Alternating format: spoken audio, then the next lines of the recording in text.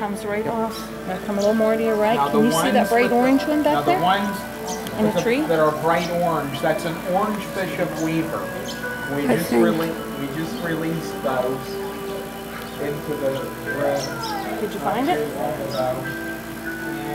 See what else we got. Uh-uh. On that little branch right there. Okay, let me see. Maybe you can't see it from that angle.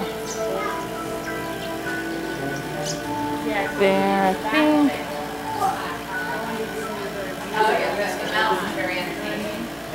Maybe. Might be able to. All right. So, um, whatever the other side. Okay. is. I think I got him. Let's see if- There you go. We're gonna try and see if we can get to, I think that small little